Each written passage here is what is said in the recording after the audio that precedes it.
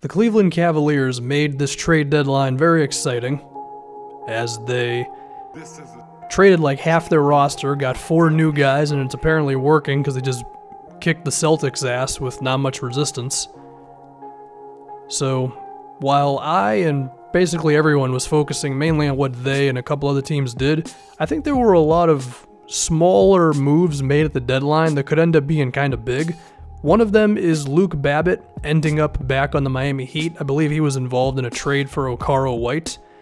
Babbitt was the starting four for like all of the Heat's run last season, where they won the crazy amount of games in a row and missed out on the postseason, but they still had an insane second half streak.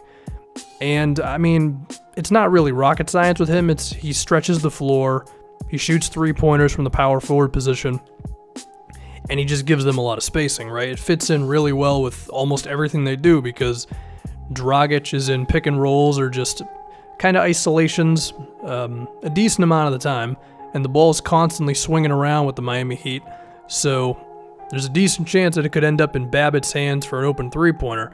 I think the other guy who it helps out quite a lot would be their big dude in the middle, Hassan Whiteside. Those two together were pretty damn good last season, especially on that second half run.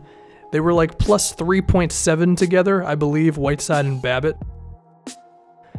Um, but that includes the first half of the season where the Heat were really bad, so safe to say that that was actually really good towards the end of the year, right? And I see Babbitt just fitting in really well with what they have going on. Now, they do have Kelly Olynyk playing a lot of four, um, and James Johnson plays the power forward position as well, so I'm not acting like Babbitt's going to play like 30 minutes a game, but I think he's going to hit some big shots for them and provide a lot of good spacing. Next, we get to Jae Crowder on the Utah Jazz.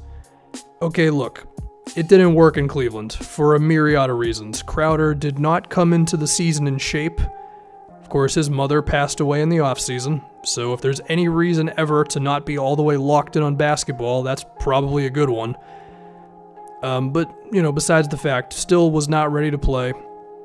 Maybe his stamina wasn't there, his defense, his lateral quickness, um, his lift on his jumper. And I do think there's some news that's come out recently where the way Cleveland's offense ran, where Crowder a lot of the time was just not getting the ball at all until LeBron would throw it to him for like an open three pointer. I don't know if Crowder can really play in that style of offense. Like, sure, he's not a guy who you want to dribble the ball too much and run pick and roll in isolation or, or post up or any of that. But he is the type of guy who you can ask him to take like two dribbles off of a screen and then make a simple pass to the corner, stuff like that or have him set screens for guys, just have him be involved in the offense in some sort of way. I think that helps him out a lot. And I mean, he recently said something like, you know, I only get to touch the ball three times a quarter or something for the Cavs. And on Utah, I think Quinn Snyder is going to help him out because Quinn Snyder's offense is, you know, decent amount of motion. Everybody touches the ball, and I think Crowder could just be more involved, and as a result, can just be better for them, you know? I think they can generate him open looks.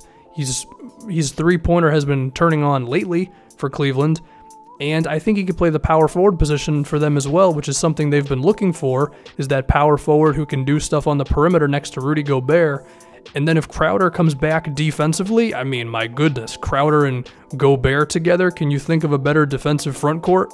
So, that's an interesting move that I think could end up being really good for Utah. Next, we get to James Ennis on the uh, Detroit Pistons.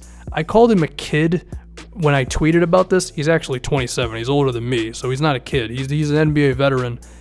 He's shown some good scoring potential in his career. He's never been asked to play too many minutes, but he's got some decent size. Plays small forward. Potentially, you could slide him down to the four. So I think he can be, you know, hopefully just okay on defense. And then offense, if he gets an opportunity in transition, if he can attack a closeout, if his uh, defender is just daring him to go off the bounce a little bit, I think Ennis actually can do some stuff off the dribble, and then he's a good three point shooter. I would not think that he'll be playing like a lot of minutes for the Pistons. This is similar to Luke Babbitt, right? Where it's when they call upon his number, I think he can do some stuff, but there might be some games where he doesn't play too often, you know what I mean? Uh, but we can look at the rest of the team. I mean, he and Reggie Bullock together could be some good shooting because Bullock's uh, outside shot has been really good for the Pistons lately. As uh, tweeted, when did Reggie Bullock become Ray Allen? Um, he's been knocking him down, you know? And another guy, Luke Kennard, when we're talking about spacing between Kennard, Bullock, James Ennis, maybe that can be enough, you know? You just need enough shooting out there because that Pistons offense has been kind of rough for the last couple of seasons. But of course, Andre Drummond has made improvements this year to his playmaking, and of course, they just have um, they acquired Blake Griffin recently. As much shooting as you can get around those two, it should be good, and I think James Ennis can be a part of what they have going on for them. And finally, Doug McDermott on the Mavericks. He was involved in the Emmanuel Mudiay trade, and I think everyone, including me, was mainly fixated on Mudiay to the Knicks. But when we're talking about Dougie Fresh on the Mavericks, I mean, Rick Carlisle is a wizard. He constantly has a spaced floor, and Dennis Smith with shooters around him, that sounds like a winning formula if you ask me. And of course, Doug McDermott can shoot. So expect a whole lot of pick and roll with Dennis Smith, which is what was happening anyway, so that's not too much different but it's just a, an extra little nuance. So even if McDermott sometimes is unnoticeable, he should be providing a lot of spacing. Harrison Barnes gets his isolation game on. Barnes will also post up, operate out of the mid range, and you definitely need uh, guys around that because, you know, if you have a non shooter and Barnes wants to operate from around 15 feet, that can really bog down your offense. But if you have a guy like McDermott who can just chill in the corner, come across screens, get some open three point looks, I think that could be something. And I, I mean, I think he has a chance to play more for the Mavericks than James Ennis and Luke Babbitt do for Miami. I still think those guys can do stuff. I think McDermott could grow into like a real uh, piece for Dallas for a while here. I mean, it'll depend on what he asks for in free agency. I imagine it won't be too much, but we're still going to have to see. One team might like him a lot. But just a few underrated trade deadline moves for you that I think could end up being pretty big.